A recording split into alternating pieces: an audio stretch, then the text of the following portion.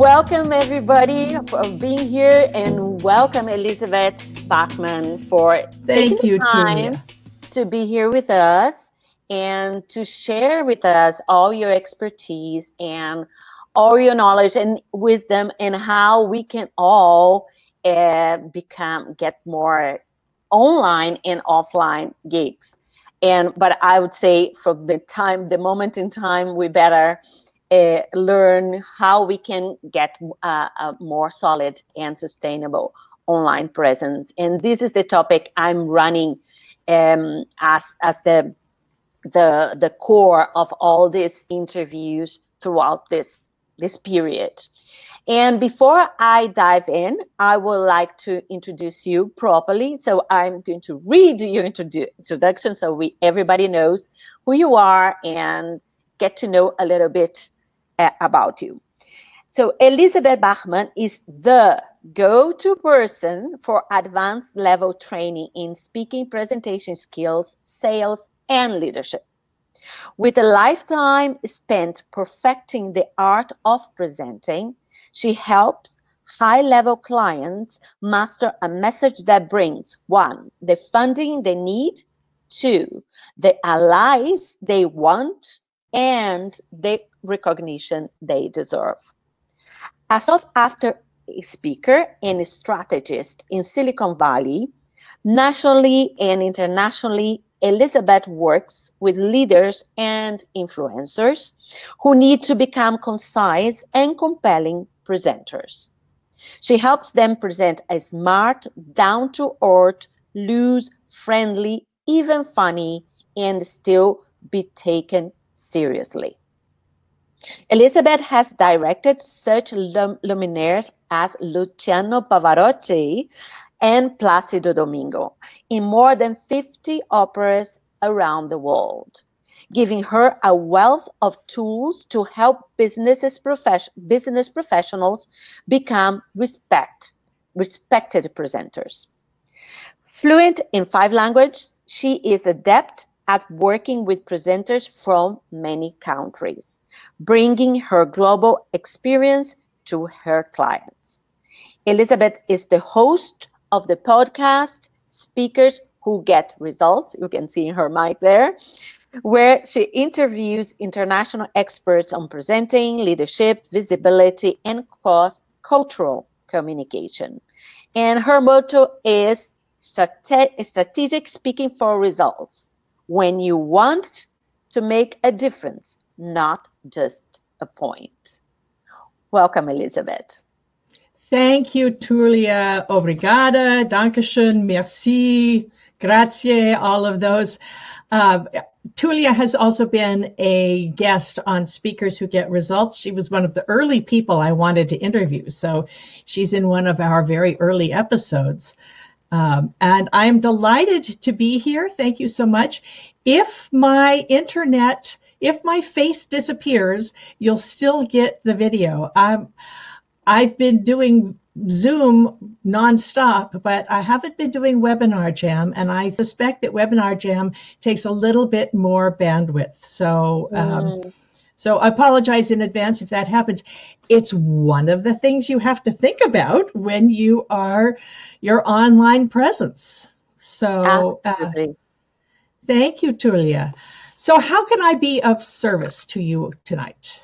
Okay, so uh, I have a list of questions here, but I would like to first it's more as a curious question before diving into our topic is how does directing an opera connect with public speaking? I have my ideas, but I want just to check with you, the experts. Well, I started as an actor when I was five, actually. I was, um, I always think of it as being dedicated to the art of great communication. And my mother said that I was the best darn bunny rabbit she'd ever seen. And I said, ha, she likes me. I love this. So I wanted to keep on doing it. I became a director. And then I ran a small opera company in the Tyrol in Österreich, not too far from where you live. And, uh, n- and now I'm using all that experience to help presenters because it turns out that the skills you need to sell a song aren't that different from the skills you need to sell a product or a service or within a company to sell an idea. It's the difference is just vocabulary. It's very interesting. Uh, many years ago, I gave a presentation in one of the Toastmasters events in Krakow, actually.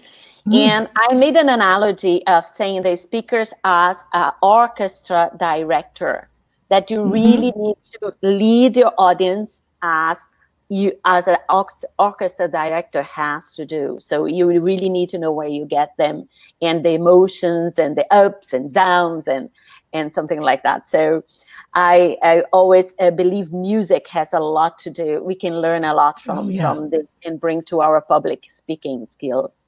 And when i'm training speakers i talk a lot about the melody of your message how you deliver your information the problem is, you could have the best speech in the world, and if you don't have anywhere to give the speech, it won't do you any good.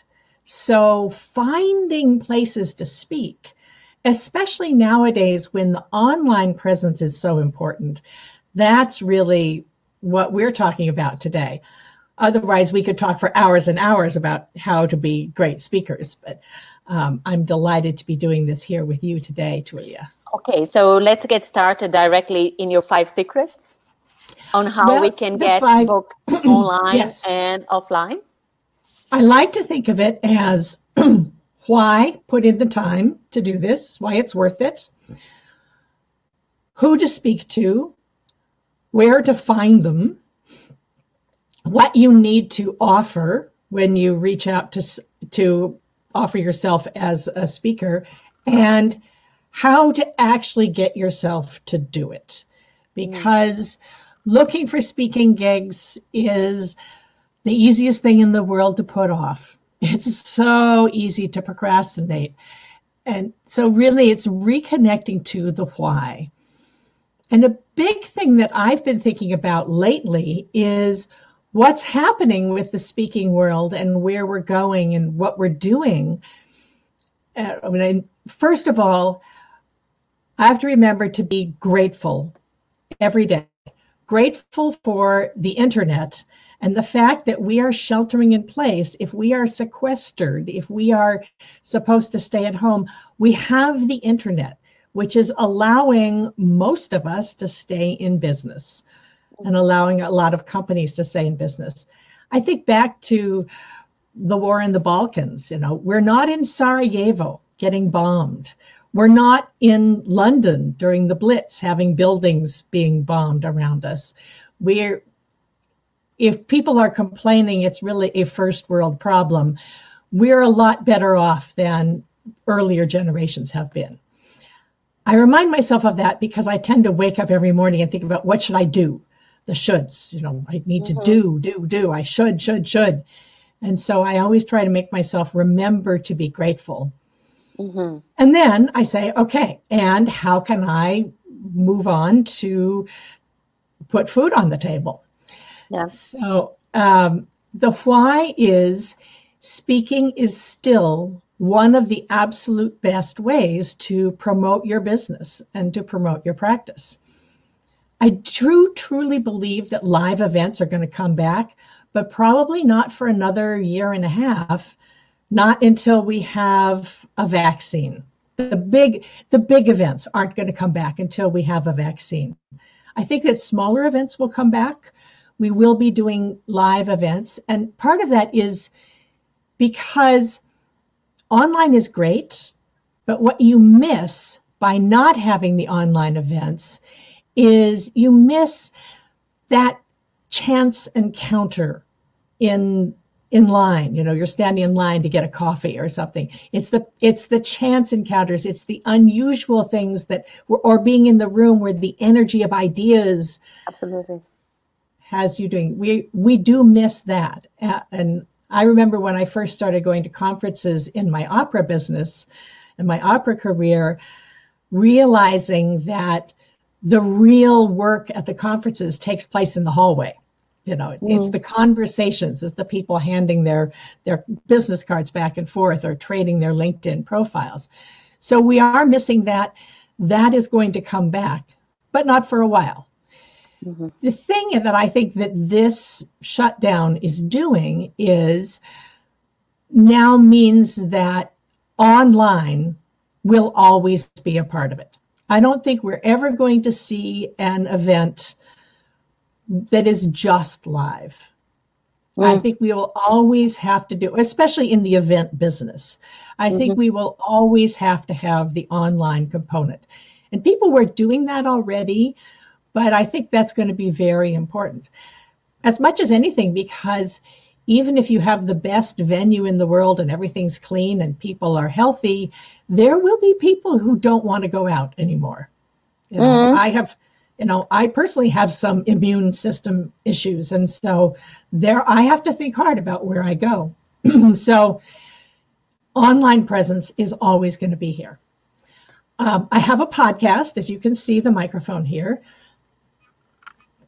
and I've been thinking a lot about what's going to be the best thing for each for your business mm-hmm. and i finally wrote it down it was like awesome. i made a list i made a list that the advantages i mean there's sort of four categories you go through you can speak as a panelist in a private group like this one. So, this is a webinar like this one. This is the sort of thing that we're doing today. And people more or less know the host that's either online or um, online or it's live. The good thing about that is people are already ready to listen. If the host says this is somebody you want to pay attention to, then they're ready to listen and you can get the instant gratification. If Elizabeth, speaking, just one, one second, yes. one second. We lost you, your image. I know that. You can, you can, you hear me? Okay, so you know. Okay, okay. I do. I do know that. I can't do anything about it. It's just. Okay. It's the program, the the tech. You know, computers okay. are great until they're not. So I'm afraid, just cross your fingers that I come back. It's it will come when it decides. I can't do anything about it. Okay, we can hear you. That's important. Okay, so the in, you you can get instant gratification and instant results and connections if you are speaking with a private group.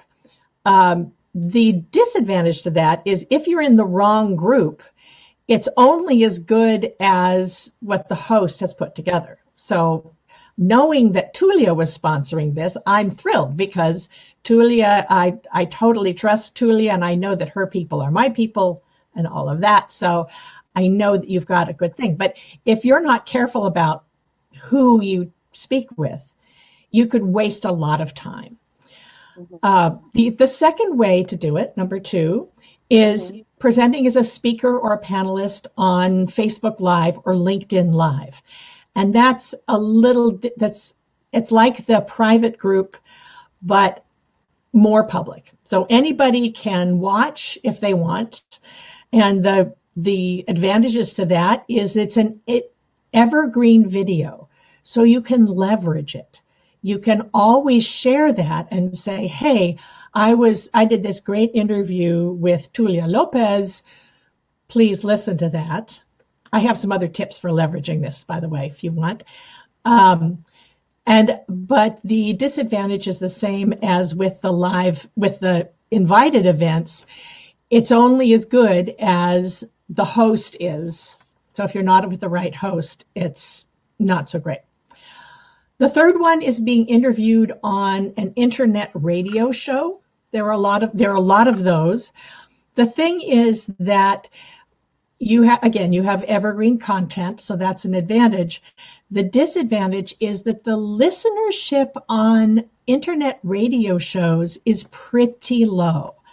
And the other thing mm. is that advertisers most of them are sponsored most of them are commercial and the advertisers care about how many listeners you are so you have so the station will often lie about the numbers and tell you they have a lot more listeners than you really have. So that's a long term it's worth doing but it's a long term strategy and it's mostly useful if you can leverage it by sharing the link and say telling people who are ready to listen to you hey listen to this. And then you have podcasts I am having so much fun hosting speakers who get results. And by the way, if you're interested, you can find me on iTunes or Spotify or Stitcher. Anything Speakers Who Get Results is my podcast. And, and there goes my video again. okay, so the advantage of that is you're introduced to new audiences. You have a chance, it's like putting up a billboard by the road. You have a chance to reach people you would never reach before. And the more you appear, the more people know about you. And there again, you have evergreen content to share. The disadvantage is you don't know who's listening. You have no way of reaching them unless you have a free gift that people will really buy into. Most of the time, people listen and they may be listening a year later. So it's good for getting out there. The key is what do you want with your business? Do you have a business that depends on local traffic? Do you have a business where you want to meet people in your city, in your community? Then you should really focus on the events that are virtual meeting events, virtual networking events for a community that you are part of where the listeners are local.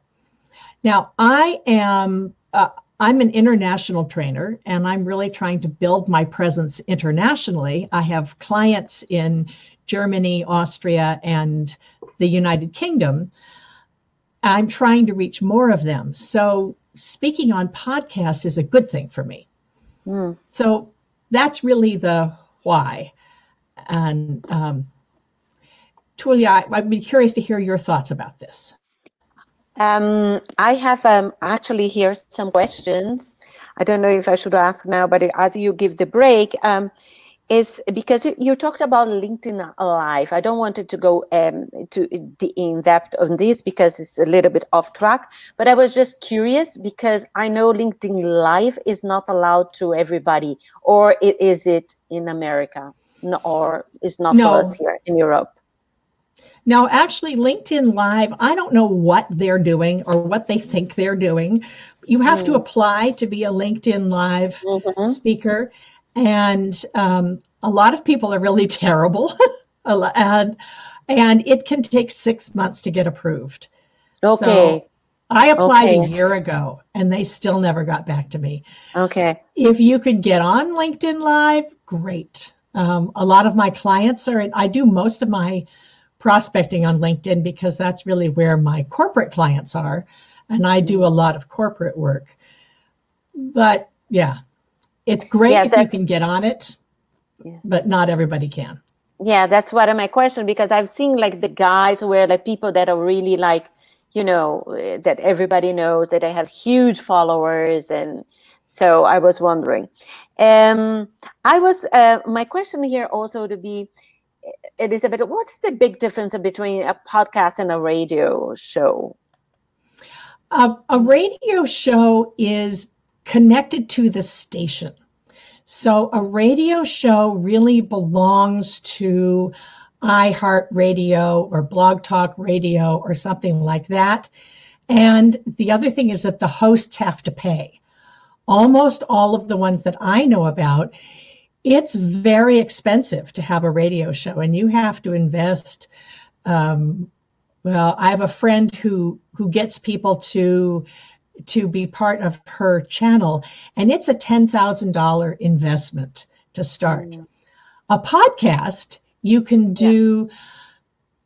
not totally for free. Uh, the big difference between podcast and uh, is whether they are video or audio. Well, we all know, I'm sure you've talked about this, Tulia, is that video shows up more on social media. And that is the main way that people find you now is on social media. So, you know, if you Google somebody, their LinkedIn profile is almost always the first thing that comes up.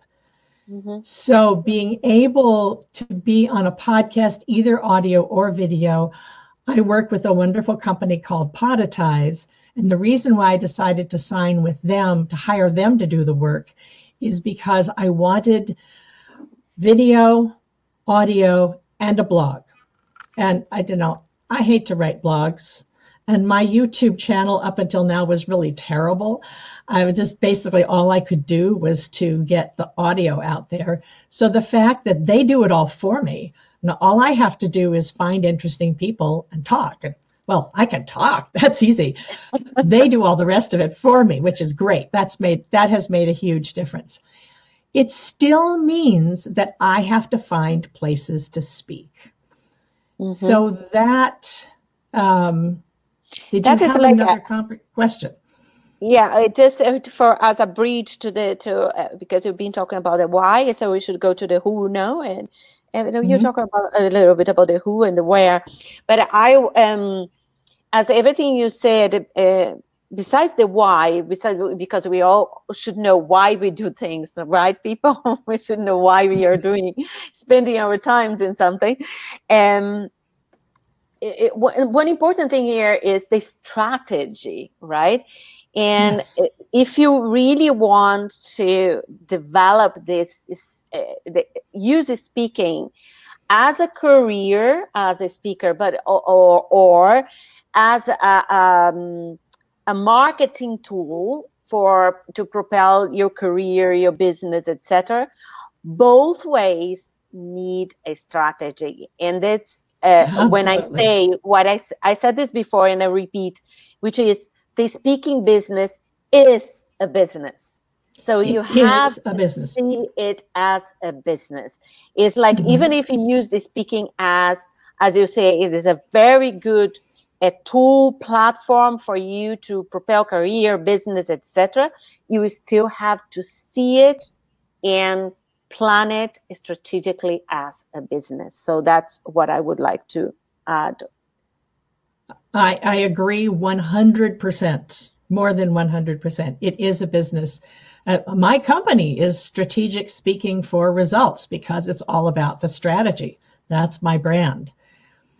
So the question is, if you're going to speak on podcasts, uh, it's really it's the same thing for whether you're going to speak online or live. You start out with who is your audience? Who do you who do you want to reach, and who do you know who can uh, who can get you there? So basically, who are the people you know that uh, referral partners are very important. Who do you know who works with the same people you do, but doesn't compete with you and could introduce you to people? Very referrals are very important. The other thing about podcasts as opposed to say locally based networking events is the good ones are booked two or three, four, five months out. So podcasting is a really good strategy for raising your visibility. And you want to make sure that you are booking the long term things. And that's easy to forget because there's so many short term short term things to do that you want to make sure that you are thinking about the long term. That's part of the business. You know, it's a it is a long term strategy. The more you're out there, the better, though. Mm-hmm. The best way to find people is that I find is to find out which of the podcasts or the internet radio shows that work with the people you're trying to reach. And then for the podcasts, you can go to iTunes or there's a thing called Podchaser, another one called Listen Notes, and search for maybe people who are big names in your field and find out where they're speaking and see if that would be a fit for you. You do need to do the research, so that's important. Um, you know, I work with women in business mostly, so I really look for that. I have male clients and men who come and find me, but it's usually through referrals. Also, want to make sure that the podcast is still alive and still broadcasting because 90% of podcasts fade after the first six months or so. So, okay. you want to make sure that this is someone who's still out there and still recording. or you can waste a lot of time. So mm. that's sort of who and where to find them. Another great way is to ask the people that you currently, your current customers, ask them who do they listen to? What are the groups that they go to?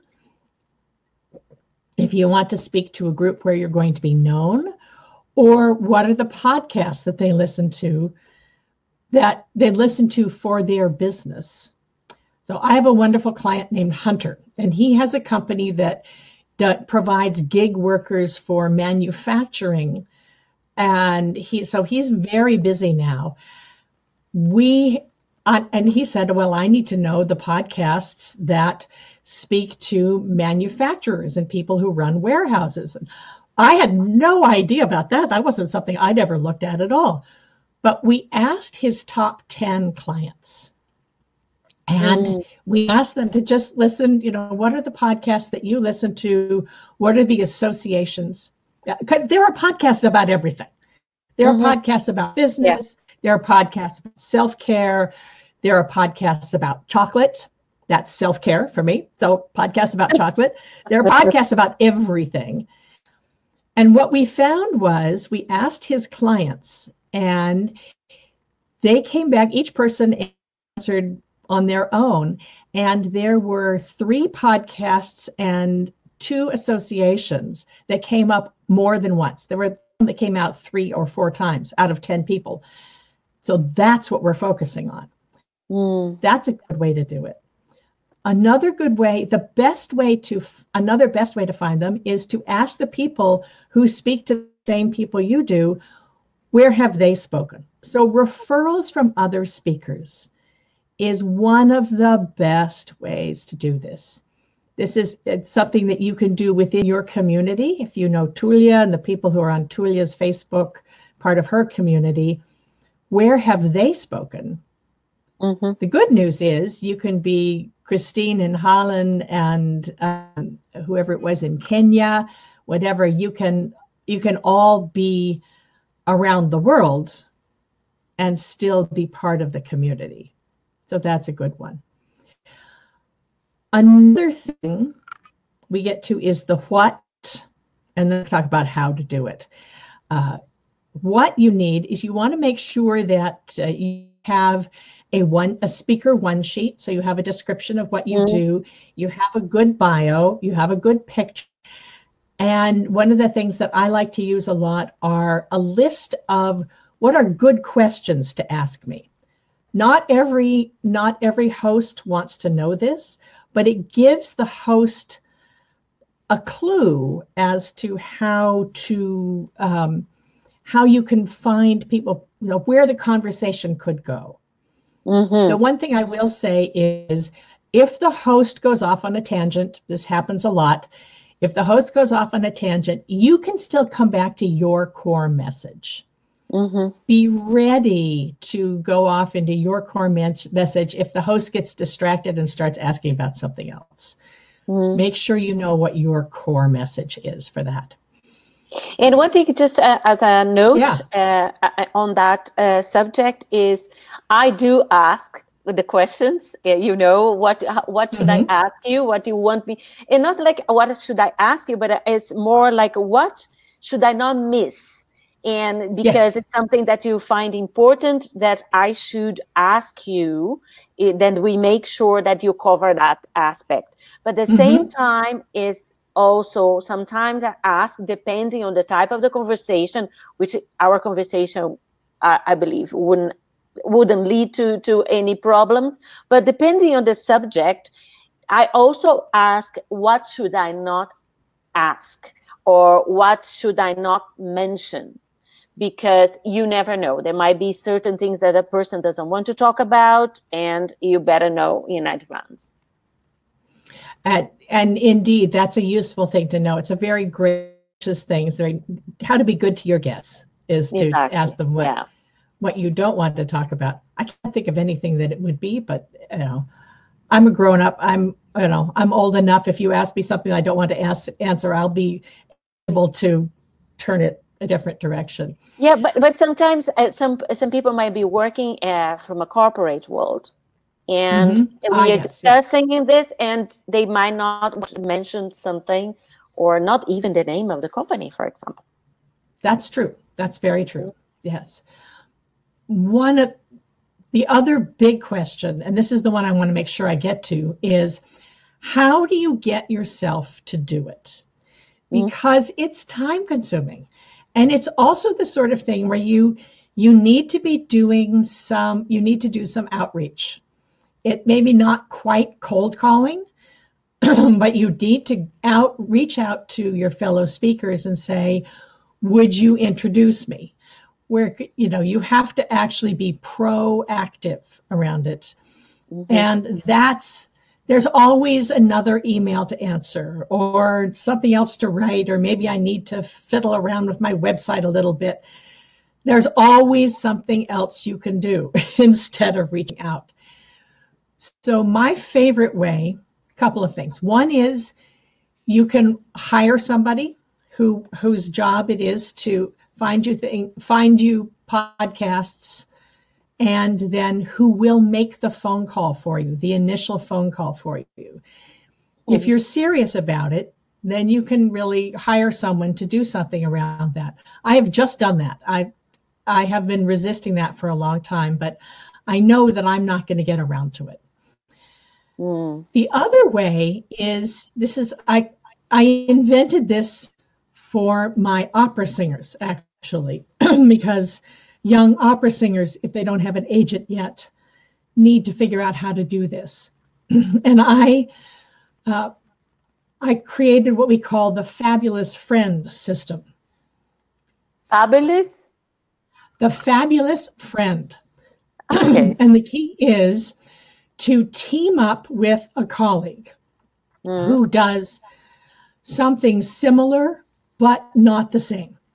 mm. So you don't want to you don't want to have someone who does exactly the same thing that you do. You team up with somebody and then 1 hour a week you are you are each other's assistant. Now you have to commit to this. You have to be, the time has to be sacred. You're going to meet on 10 o'clock in the morning every Thursday, no matter what. Don't, mm. don't give up because it's so easy to not get around to this. But for instance, Tulia, if you and I were to do this, mm. you would give me a list of the people you wanted to reach and you would write out a little script for me and I would do the same thing for you. The nice thing now is we can do this on Google Docs, so we can keep it up. We make the list. And then for that hour, you would be my assistant and I would be your assistant. So mm-hmm. I would be calling the people on your list to say, hello, I'm working for Tulia Lopes. And she is the best speaker trainer. She's got this wonderful show called Profit Presentations, et cetera, et cetera, et cetera. You've got to bring her in, have her speak on your program. And you would be saying, ah, Elizabeth Bachman, former opera director, interesting speaker. She does a lot of speaking for business. And you would be doing that for me because it's always it's always easier to to rave about somebody else than it is to talk about yourself. Absolutely. You could think of it. Uh, the unofficial name for this system is it's always easier to do the dishes at somebody else's house, oh. right? you know, always easier to do the dishes at someone else's house. So if you think of that, that you team up with a friend, and I first started teaching this in 2015, and there are three groups that are still doing this. And they've been doing it since 2015. And they meet three Thursdays out of the month and make phone calls on each other's behalf. And they are, all of them, out there speaking. It, it really does work. So that's a way that you can do it for no money, or you can somebody to make the phone calls for you.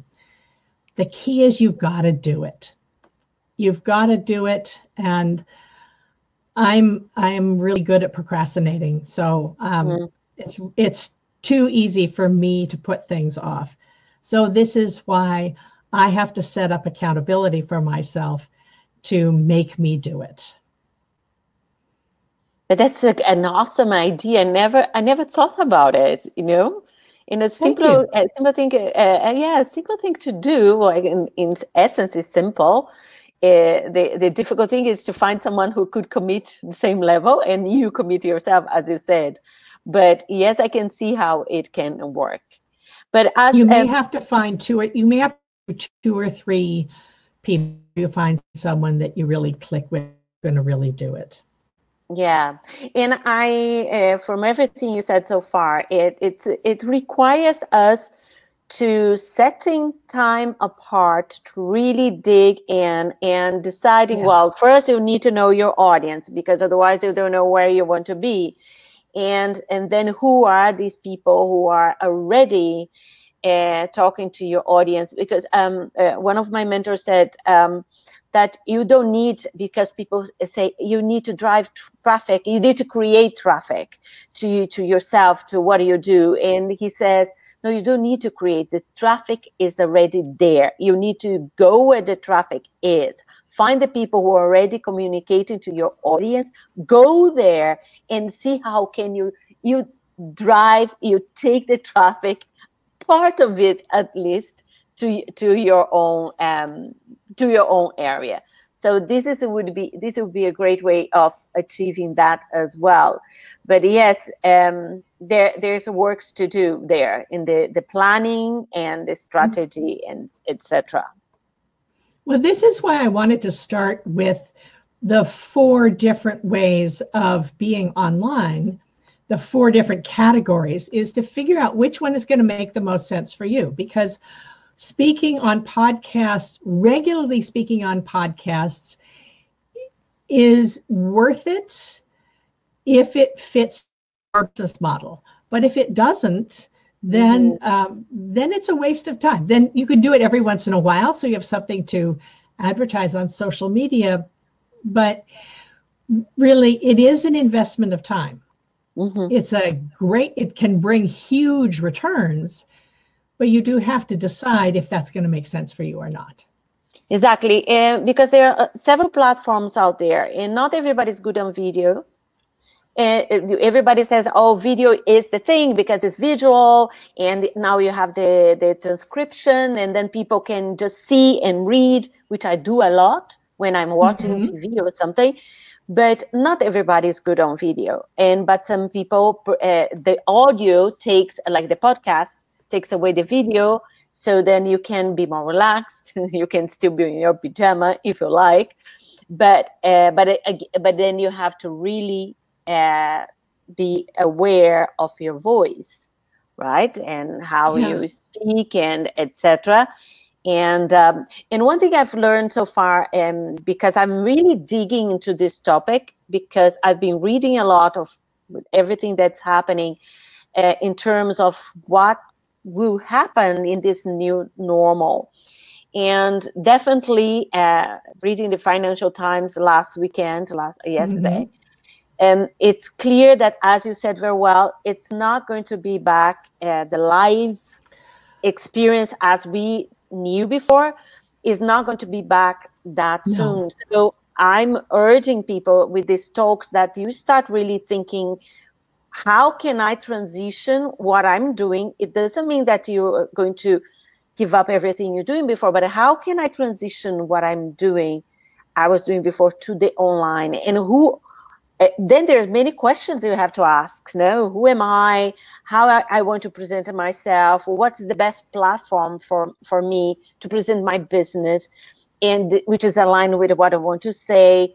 And also, um, one thing let's see if you agree with me that uh, we should not go crazy trying to be omnipresent. That we just choose yeah. maybe one or two.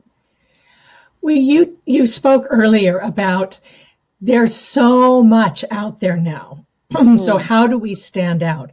And that's where I get back to the who.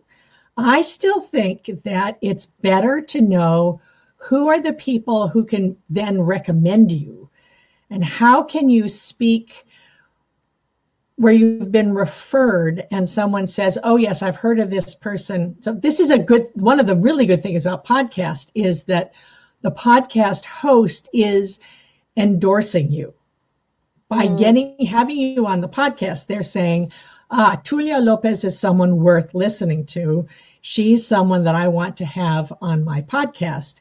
So that already gives you credibility to be able to talk about uh, makes people more inclined to listen. And so that's very important. Uh, it still gets back to who do you know and who knows your audience who can introduce you. That's back to the basics, absolute basics of networking. Absolutely. And yes, and we we again back to you what you said in terms of the strategy and you you have the podcast, um, Elizabeth, but mm-hmm. do you are you uh, more focused on that for keeping uh, going with your business? And um, you using more the podcast, or you're using something else as well? I am using the podcast as an entryway. So here's the good thing about having a podcast or having a webinar show the way Tulia does is there are many, many, many ways you can leverage it. For instance, I um, I interview interesting people, and then I ask them, "Who do you know who should know about me? Who do you know who needs what I can who who needs a presentation skills trainer?" I can also use it. I I use it to produce things. I just recorded yesterday a an episode about how do you deal with objections because i have a lot of clients who their customers are coming up to them saying uh, we have no you know budget is shrinking how do i how you know what do i do they all nobody wants to pay me anymore and my thought as we were speaking before we started the recording is it is their job to ask for a discount it's not necessarily your job to give a discount, but use it as a way of negotiating. And there are many, many people who just say, oh, okay, you're leaving me. The customer leaves, they're done, instead of trying to keep the relationship going. Mm. Because business will come back. It always does. It will look different, it will be in a different format, but business will come back especially since we have the internet. So the entire economy is in difficulty around the world, but it's not dead. It's mm-hmm. not finished. It's not, you know, it's not as if somebody's bombed your city and you have no home left. We have this great advantage of the online platform. So, how can you at least keep the conversation going? And then I can use that now. Somebody has a question for me. I say, Oh, I just did a podcast episode about it. Listen to this. And most of the time, if they listen to one, they'll listen to three or four. And then, so again, it's a it's something that you can leverage. Yes, and as back to what I said, is a moment for us as well um, moving to the online world and to see how we can adapt what we are doing, our services, our, our trainings, into this new platform because mm-hmm. um, we can leverage more in the online. So, because you can reach more people.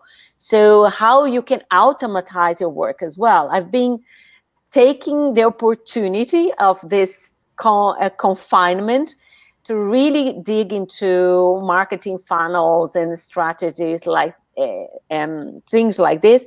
Well, because I also like it, I really enjoy, and marketing is full about communication. And it's for me, uh, many things have been revealed, like in terms of how I have is that uh, back on what you just said, how I have to think ahead to keep this continuous relationship with my client because in the live environment uh, as before is it was easier in a way just to keep the touch. You you just let's mm-hmm. meet coffee right?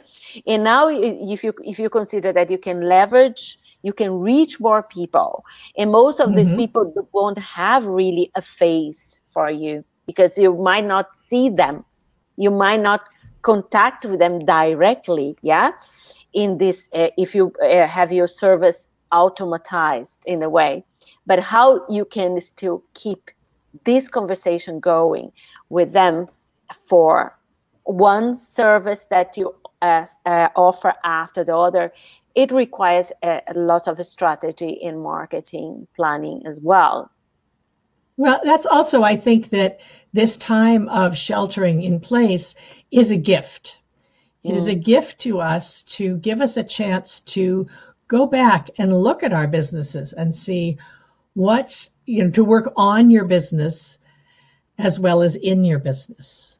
And so that's another thing. It is something that we can really use this time for.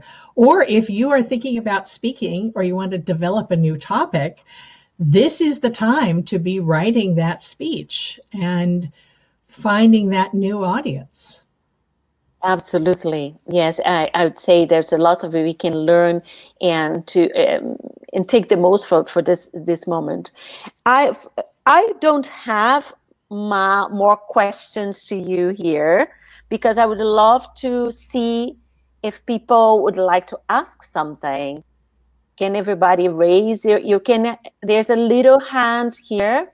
You can raise your hand to speak, or you can write it here in the chat if you want to ask your questions to Elizabeth. Take the most of it because she is she has a lot of nuggets of wisdom to share with us here. Because um, there are many I, I still find out I, while people is still thinking what they want to ask you elizabeth there's a comment here um, i realize that uh, change is always a challenge right? To mm-hmm. everybody. Yes. And the reason I decided to uh, put these webinars, these interviews together in in this topic is because I do believe we uh, the sooner the sooner we start understanding that the the world is not going to function anymore the way we we used to right. and there's this big platform out there this platform what is available? Because there are there were many people already on this road for many many many years and even more in america in your part of the world because you know you're much ahead than us here in europe in uh, to that respect. So um, I what I um, want to say is to the people who are here tonight, if you're here is because you're curious about something. Mm-hmm. And I keep saying to people, like, we need to not only be curious, n- knowledge is important, but always finds way find ways to take action. On that mm-hmm. note, I would say Elizabeth here is here. I would give uh, her contact to you afterwards you can contact her. If you have any questions you can always contact me. But it's important that uh, you start taking this step very seriously. And uh-huh. there's a question here from elizabeth. You talked about what you need as a speaker but i missed one. Could you please repeat them? Oh the four the four things uh, the four areas i believe yeah uh, what you need as a speaker, if you're going to promote, propose yourself as a speaker, you need to have the speaker one sheet. This is a list of of the topics that you speak to. And I have been doing that for many years. I've now made a different a different document, which I just keep as a, a Word document on my computer that has the, the points I can talk about, but it also has my social media links, my bio. Uh, because I ask people, I tell that I have people read that I worked with Luciano Pavarotti and Placido Domingo. I have a bio for reading out loud that's in 18 point type, so it's easy to read. And it's also, uh, I spell out how do you pronounce Luciano Pavarotti and Placido Domingo? Because a lot of people have trouble with that. So if you have a name that's difficult to pronounce, make sure that you include the pronunciation with it so that the, the host doesn't mangle it for you. Absolutely, yeah. Yeah, so it's useful to have that of um, if you can send a copy of a short version of a place where you've spoken so they can they can see what you're like. I do a Facebook Live every Wednesday at 6 p.m. European time, which is 9 a.m. on the West Coast or noon on the East Coast of America. I do Facebook Live that's eight, 10 minutes long. So that's an easy way for someone to see what I look like, that I can speak, that I'm interesting. And it's a good way to have some samples. So it's good to have some clips that you can send. And I have links to that. It's all in one document. And then when they ask you for that, you can, you just copy and paste. I have a note to say here because, um, of course, we always said the videos, no, it's always so important to have a very good video of you in action, so you can send to the client, mm-hmm. can really feel you on stage. Okay, so let's consider the new situation right now. If you don't have that video done yet, so you're gonna have to wait for a while uh, to have that video but uh, as soon as you get the opportunity, try to get a professional video recorder with you to get that video. Because the other day I was thinking, oh my goodness, I never put so much attention to do a TEDx talk. And now mm-hmm. I don't know when I would have uh, the opportunity even to apply for one. So, but now in this moment that we are living in, so what are the possibilities? how can we portray ourselves as speaker uh, in a very professional way in these platforms. So it will require that um, everybody here um, to really start digging in and finding out, trying out until you find what's the best for you. And it doesn't need to be perfect. Uh, as mm-hmm. I always say, I, am away from perfection. But um, but it's better. Uh, done is always better than perfect. Yes, exactly, exactly, and it's really it's very important to do that. So the more you're out there online, the thing about video is that Facebook and LinkedIn and YouTube and all of that and Google, this is how people find you, and video material shows up first. So it's mm. really for search engine optimization reasons is and I resisted video for a long time. And I finally, I finally last year started getting out there and saying, okay, I've committed to doing Facebook Lives every Wednesday for at least 10 minutes for at least a year. Because, and, and I got over being afraid of it. But mm. I, it was mostly because I wasn't comfortable. I wasn't used to it. And since I wasn't used to it and I wasn't comfortable, I didn't do it.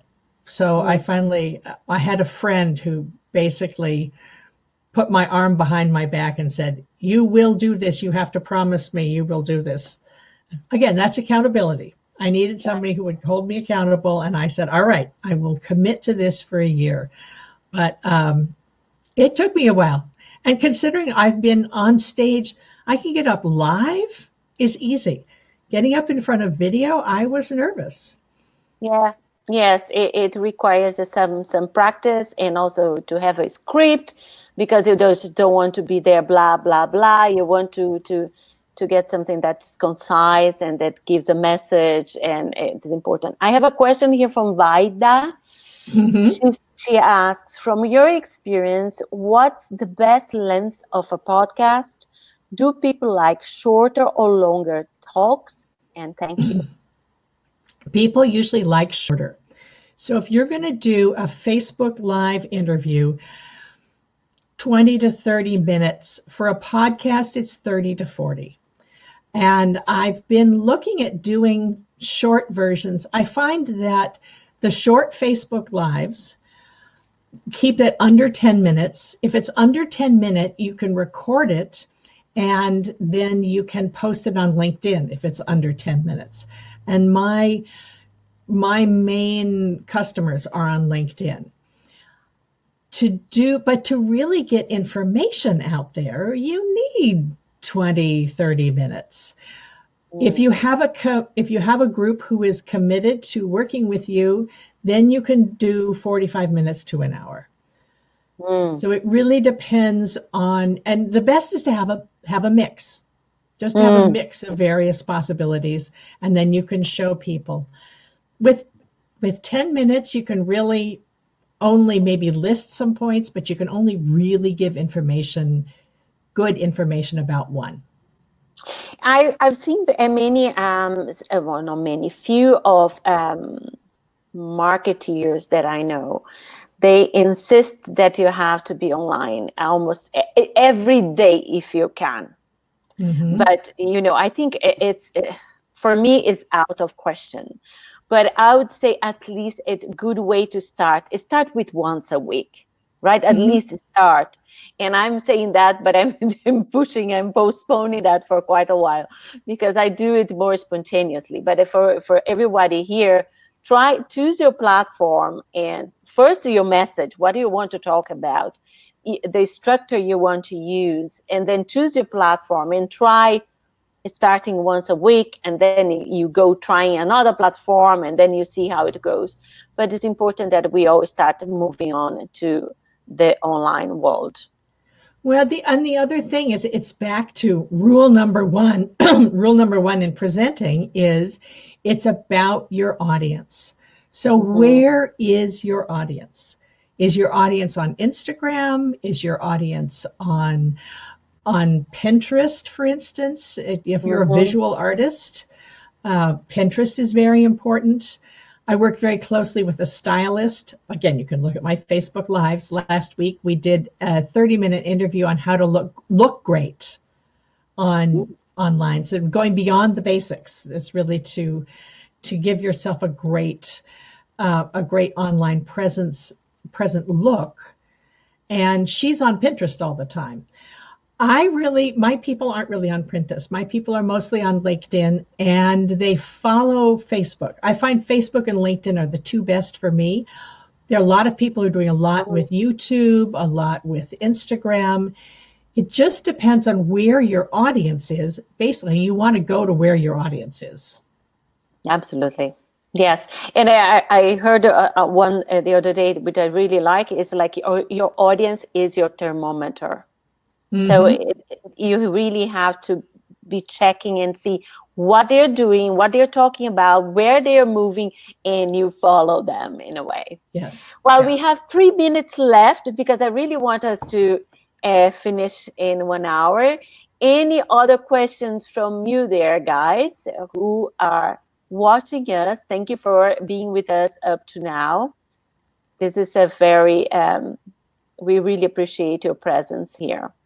Absolutely. Elizabeth just apologized that she has another call and that she had to to uh, to leave, and she's thanking us for for the our conversation today. Tack så mycket.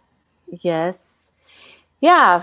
So as I see, people are very quiet. I think we can. Oh, don't disappear before No, I, can haven't. thank I'm still here. I'm still here. before Oh, I can is so thank you properly for being here. So Elizabeth has given me a link for an assessment. Elizabeth, can you take a, a- a talk just a little bit about this um, this assessment? So An easy way to find out uh, is to really for you to find out how your presentation skills are strong is to go to my free quiz. It's called speakforresultsquiz.com. That's www.speakforresultsquiz.com. And then it takes three or four minutes where you can see where you are really strong with your presentation skills and where you might need a little bit of support. And that's the best way to reach me because if you do that, I will get a copy of it and then I can check in with you and see how you feel. That's awesome. I would do it as well. Let's see. Let's see what happens. And for all, I hope you come back before I finish. So you're back before you go. Yes. Thank you so much for being here. And uh, I will send the recording. You, everybody will receive the recording, and your link is already in the email that will be sent to them so they thank can you so much in with you. So thank you for being here and thank stay you my safe. friend Yes, stay safe. And when you have the opportunity to come back close to me, and this time for sure we have to meet. this Laura. this time for sure we live so close to each other we just just a little mountain range we just have to go over the mountains so But where are you now? Are you in America or you're I'm here? actually i'm in america okay. Uh, I'm not. I'm not in Austria. Uh, the travel ban happened three days before I was supposed to fly, and I I, actually thought I thought it would only last a couple of weeks, and oh, guess not. But Yeah. um, no, I'm. I think I'm going to be in America till the fall now. That's Okay. the way things look, and certainly the the border between Bavaria and the Tyrol is still closed, so yes, we couldn't. We wouldn't be able to have coffee anyway. No, we are very quiet here. I, I'm telling you. Okay, so mm-hmm. thank you again, Elizabeth. Thank, Thank you you, all Tulia. It's that stayed here with us, and we mm-hmm. continue. We continue. Bye.